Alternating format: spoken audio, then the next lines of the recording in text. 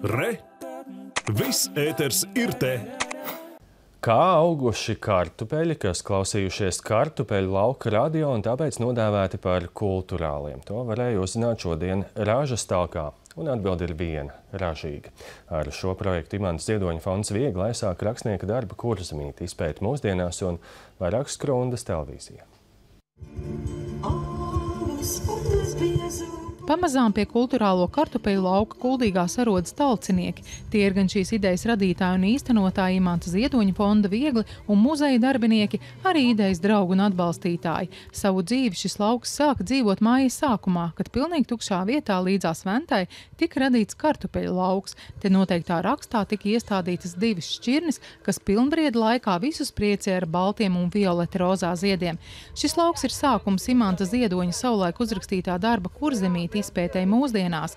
Tā kā tas sākas ar kartupeļu talku kuldīgas pusē, tad sākuma punkts ir kartupeļu lauks. Viena no raksta veidotājām laukā bija māksliniece Velga Vītola. Un tad, ja mēs tā par to mākslas daļu, kad šis ir glezna, jeb galdauts, tad uh, man liekas, kas var būt skaistāks noņemt galdautu, lai viņi pēc tam liktu galdā klātu kā kartupeļu putru, piemēram. Jau pirmās atartās vagas rāda, ka kartupeļi te auguši labi. Par lauku sagatavošanu rūpes bija uzņēmies kuldīgs naudu uzņēmums Upes Kalna AB, kas nodarbojas arī ar kartupeļu audzēšanu. Saimniecības vadītājs atzīst, ka sākumā bažījies, kā kartupeļiem šai augsnē klāsies, tāpēc par ražu īpaši priecīgs.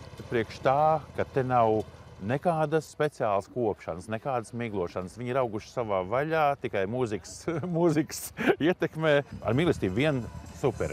Es brīnos, ka viņiem nav ne drāzstārpiņi, nekas te nav bijis. Fonda radošo projektu vadītājs Emīls Lupjānskis atzīst, ka šis bijis eksperimenta gads, ka tā īsti neviens nebija pārliecināts, vai tas izdosies. Divi galvenie secinājumi. Pirmais ir jāturpina, jo mēs redzam jēgu tam visam.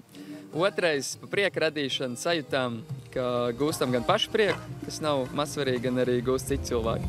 Tāpēc arī tas pirmais secinājums. Nu, es teiktu, ka šajā kartupeļu laukā ir poēmas noskaņas, jo ir kartupeļi, ir darba prieks. Pēc nolasīšanas kartupeļi tika sašķirot pēc lielumiem un šķirnēm.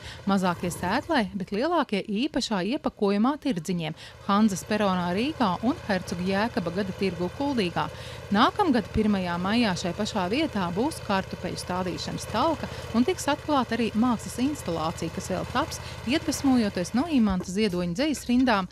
Es, protams, zinu, ka ir debesjums, kā vēl daudz lielāks galds virs mana galda. Ieva Benfelda, Lāns Perševits, Skrundas televīzija.